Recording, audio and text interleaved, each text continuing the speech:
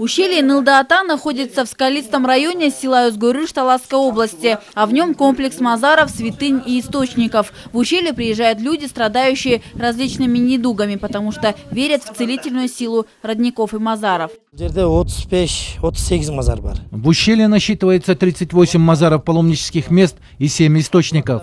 По словам специалистов, вода в источниках уникальна, так как в ней содержится 27 химических минералов.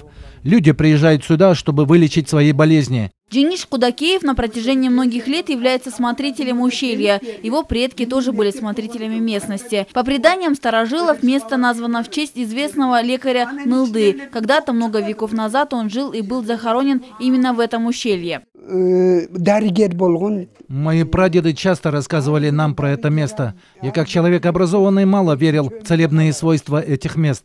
Но позже стал замечать, что приходящие сюда действительно исцеляются. По преданию Нылды похоронен здесь. Он лечил травами, и паломники приходят в ущелье, веря в то, что Нылды Ата им поможет. Один из смотрителей уникального места Илья Турокулов говорит, что следить за экологией местности становится сложно. Чтобы охранять окружающую среду, ему нужно придать статус заповедника, говорит Турокулов.